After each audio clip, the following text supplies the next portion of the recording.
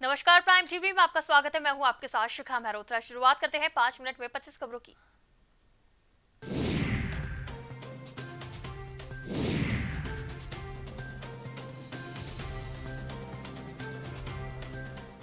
दो दिन बाद फिर बदलेगा मौसम का मिजाज, पश्चिमी विक्षोभ के सक्रिय होने से हिमपात और बारिश के आसार।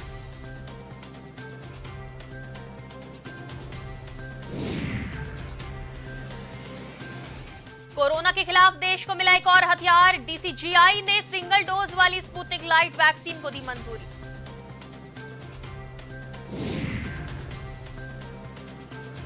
केंद्र सरकार ने खत्म किया वर्क फ्रॉम होम सभी केंद्रीय कर्मचारियों की शत प्रतिशत उपस्थिति के निर्देश।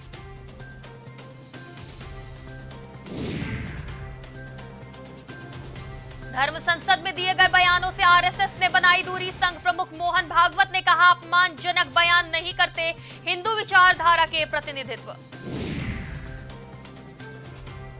अरुणाचल प्रदेश में भूकंप के तगड़े झटके रिएक्टर स्केल पर 4.3 दर्ज गई तीव्रता।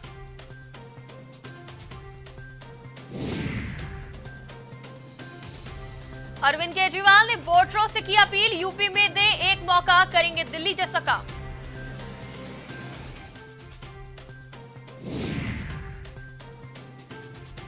भाजपा के 45 प्रत्याशियों की एक और लिस्ट जारी दयाशंकर सिंह पर जताया विश्वास।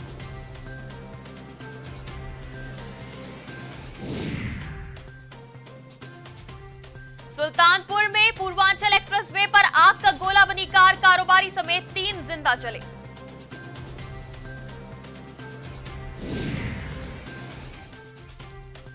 सचिन पायलट को भरोसा, यूपी में चौंकाने वाले परिणाम देगी कांग्रेस।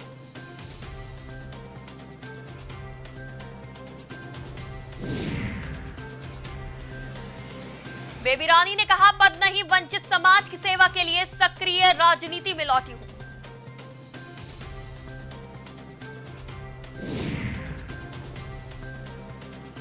इमरान खान की सरकार को तालिबान से बड़ा झटका, अफ़गानिस्तान से हुए हमले में पाँच पाकिस्तानी सैनिकों की मौत।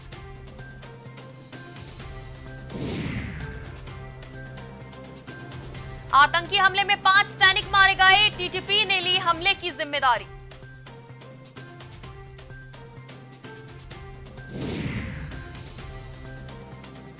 इमरान खान पहुँचे बीजिंग। पाकिस्तान को मिली निराशा, चीन से नहीं मिला नया कर्ज।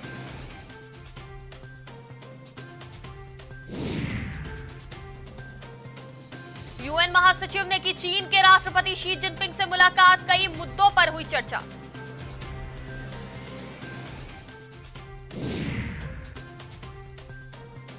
राष्ट्रपति राजपक्षे ने चली देशभक्ति जगाने की चाल, अनिवासियों को लुभाया।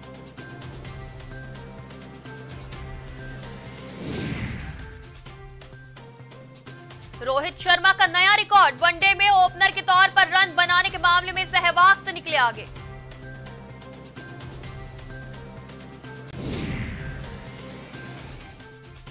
चीन ने रोमांचक मुकाबले में कोरिया को हराया। 16 साल बाद रिकॉर्ड नौवीं बार बनी चैंपियन।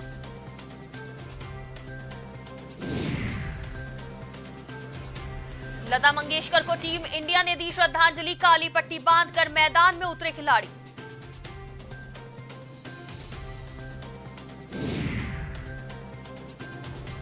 युजवेंद्र चहल ने हजारवें वनडे में विकेटों का लगाया शतक, निकोलस पूरन को बनाया सवा शिकार।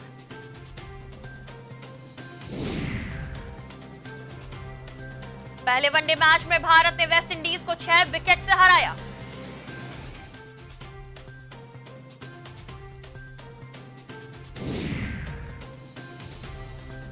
कोविड 19 को मात देने के बाद काम पर लौटे साउथ के सुपरस्टार चिरंजीवी।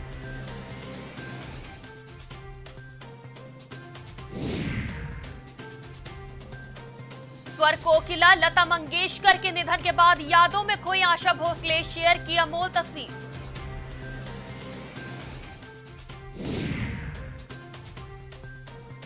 गुम है किसी के प्यार में की एक्ट्रेस किशोरी राहड़े का हुआ एक्सीडेंट, ट्रक से टक्कर आई कार।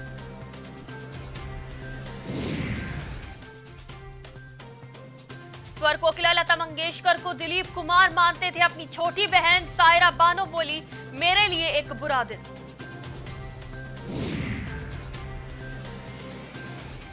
शाहरुख खान से आमिर खान तक लता मंगेशकर को अंतिम विदाई देने नम आँखों से पहुँचे सितारे।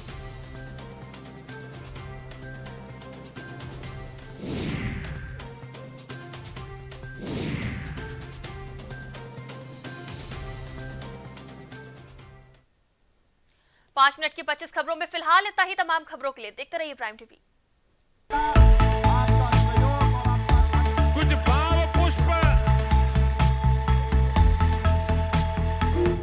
देख रहे हैं।